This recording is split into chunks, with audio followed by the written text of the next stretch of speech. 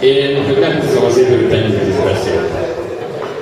Most ifjúsági sorrendben szeretném megkérni először Andráskai tanár urat, hogy szóljon hozzátok, majd Sándor Laci igazgató.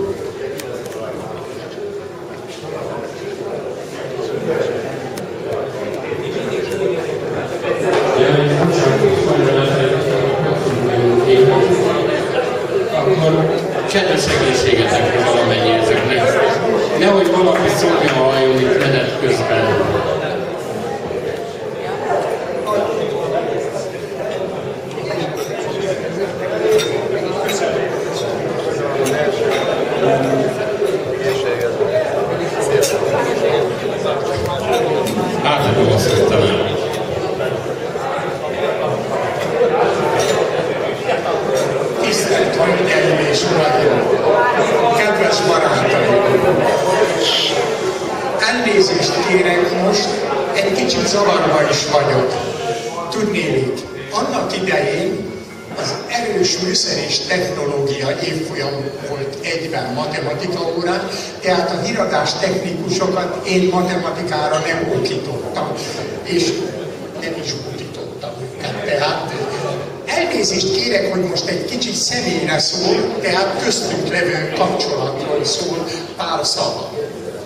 Ezért elnézést kérek a híradás technikusoktól, nem számítottam arra, hogy így egyben kell beszélni. Nos, pergessük vissza emlékezetünk fotóalbumát 45 évvel ezelőttre, amikor az első órán kezdődött. Ott álltatok, én bejöttem, meghajoltam, és ti árgus szemmel vizslattátok, miként fogom a profi biztonságával kinyitni a tudás házának azt a matek feliratú nagy kapuját, amit nekem kellett megnyitnom. Én pedig láttam azt a feszültséget, a várakozás feszültségét és izgalmát. Mit éreztem én? Hát velem szemben a tudás felszippantására alkalmas csápok óriási serege állt. Na, náhogy izgultam. Nem ismertem fejszénet rögtön a törzsanyagba vágni, hanem elkezdtem vajazni. Elővettem három kis fejtörőnek tűnő, játékosnak tűnő feladatot, és azzal kezdtem az órát. Előkapartam a jegyzeteimet, és megtaláltam a három feladatot. És többetten látom, hogy a három feladatnak most is szimbolikus jelentése van ebben a pillanatban.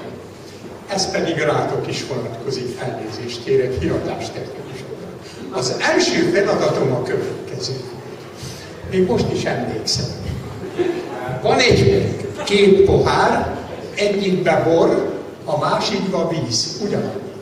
Egy kanállal áttöltünk a borból a vízbe, és ugyanazzal a kanállal a keverékből vissza. Kérdés, melyikből van több? A borba került vízből, vagy a vízbe került borból? Na, ugyanannyi. Ugyanannyi, ezt akkor ott meg nem kell számolni, csak azt kell megnézni, hogy nem változott a magasság. Amennyi hiányzik a borból, csak annyi víz jöhet oda. Ez volt az első feladat.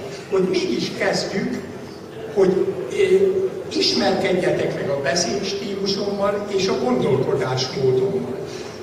Nos, ez a feladat emlékeztessen arra, hogy 45 évvel találkoztunk először, és most iszom mindannyiunk egészségére, hogy még találkozhatunk.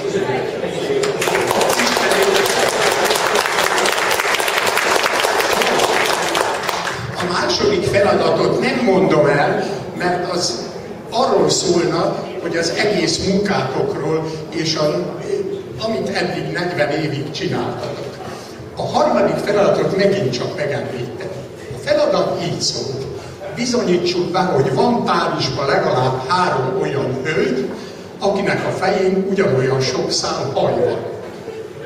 Na már most, ezt a feladatot nem csak azért mondtam, hogy meneküljek a törzsanyag elől, hanem azért is, hogy megismertessem a matematikában az úgynevezett spatula elvet, amit angolul egyébként sokkal kifejezőbben galambuc elvnek neveznek, pigeonhole principle-nek. Tudnidik, ha van egy galambházba hat bejárat, és mondjuk benne egy 13 galamb, akkor kell olyan házikónak lenni, amelyben legalább kettő is van. Ez egy példája. Nos, hát ez a feladat. Ez is emlékeztet valamire. Most képzeljétek el, hogy itt van az én igen okos telefonom. Az okos telefon. Annál is okosabb telefonom. És most én azt a telefont utasítom valami. Az itt levő hallgatókat vegye fel, mert nagyon okos a telefon, ezt megteszi. Állítsa vissza abba a terembe a képet a 45 évvel ezelőttire és a 45 évvel ezelőtti formára. Tessék csak most felülről a plafonról felvételt csinál. Nagyon okos a telefonon, pip, pip, pip, megteszi. Három transformáció. Megtette. Hát kérem, nézzük meg mind a kettőt. Annak idején az a kép, nézem, őserdő. Most nézem, hát inkább sivatag, bocsánat, amelyben természetesen a hölgyek az oázisok.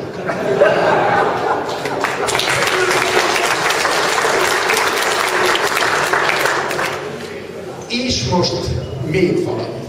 Említettem az elején, ugye odaálltam én, a profi, mert nekem 20 éves, én 83 éves vagyok. Előtte 20 éves munka állt, amikor odaálltam elétek az első órán. Tehát én tényleg profi voltam, ti meg kezdők. Na most nézzük a pillanatnyi helyzetet. Ez az, amit észrevettem. Én már 20 éve profi nyugdíjas és öreg vagyok. Ti meg kezdők.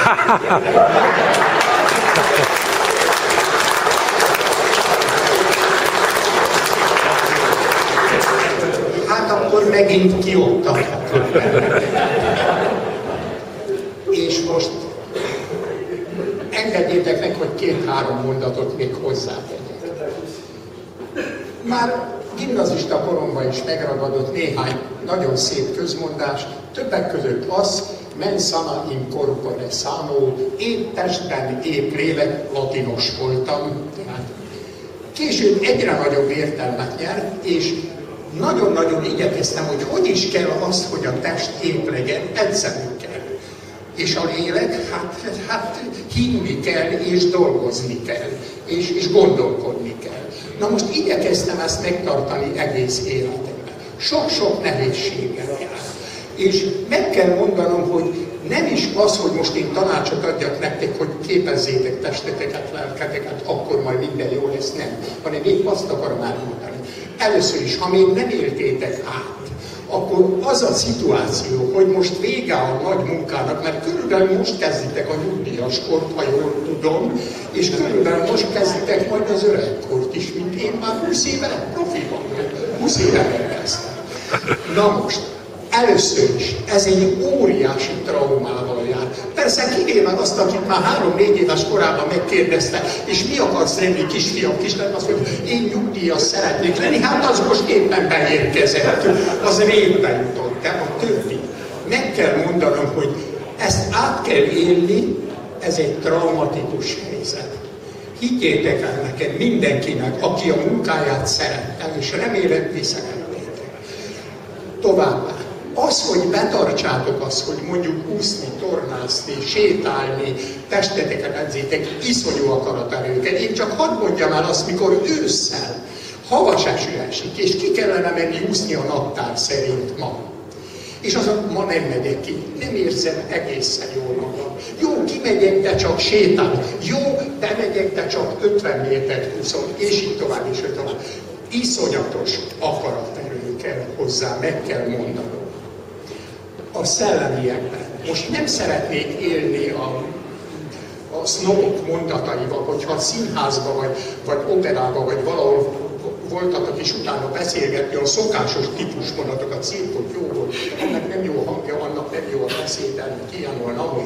Keressetek benne valami olyasmi, amit senki nem mondott, ami nincs leírva a könyvekben. Próbáljátok ki, azt mondja, nem is értem, miért csinálták azt akkor próbáljátok megmagyarázni, esetleg saját magatoknak megírni. Szóval én csak azt akarom mondani, hogy ehhez óriási küzdelem kell. És ezt a küzdelmet, ezt a tenni akarást kívánom mindnyájatoknak, és további jó egészséget.